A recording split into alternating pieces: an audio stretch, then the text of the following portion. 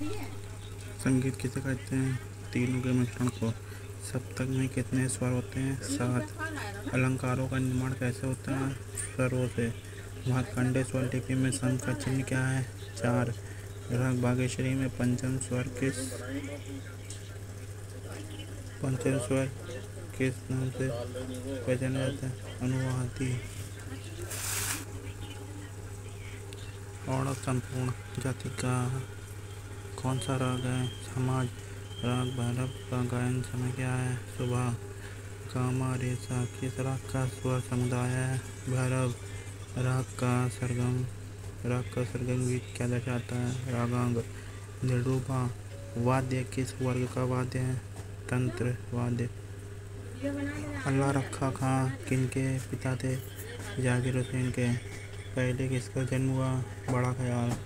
ताल दीप चंदी प्राय किसके किसके साथ बजाई जाती है? ठुमरी। टप्पा गायकी के साथ प्राय कौन सी ताल बजती है? पंजाबी भातखंडे विश्वविद्यालय कहाँ स्थित है? लखनऊ में। वंदे मातरम अपने मूल रूप से किस राग में गाया जाता है? देश गा रे गा पा सा किस राग को दर्शाता है बिलावल धानी रेसा किस राग का अंग है। दरबारी राग अड़ाना किस सप्तक में ज़्यादा रहता है? मंद्र सप्तक में। राग दरबारी कब गाया जाता है? रात्रि में। गंभीर व्यक्ति का राग कौन सा है? दरबारी। पंडित ओमकार नाथ ठाकुर किन के शिष्य थे? विष्णु दिगंबर के। बलवंत राव भट्ट। भट्ट किन के शिष्य थे? विनायक राव पटवर्धन। राग विज्ञान के लेखक का नाम विनायक राव पटवर्धन। कर्नाटक पद्धति में मुख्य ताल कितनी होती है? चार। सारे गा गा, रे, सा। किस राग का अंश तोड़ी। नी, सा, मा, गा, मा, पा। किस राग को, किस राग में गाया जाता है मुल्तानी? चार ताल में किसकी किसकी, किस गायकी की ताल है? ठुमरी द्रुपद। टप्पा, किस घराने की विशेषता है दिल्ली।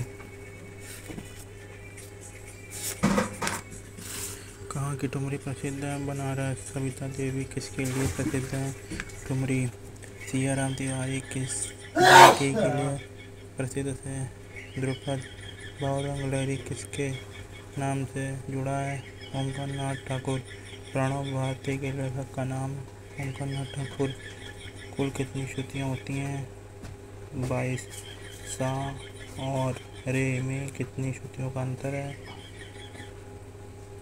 तीन।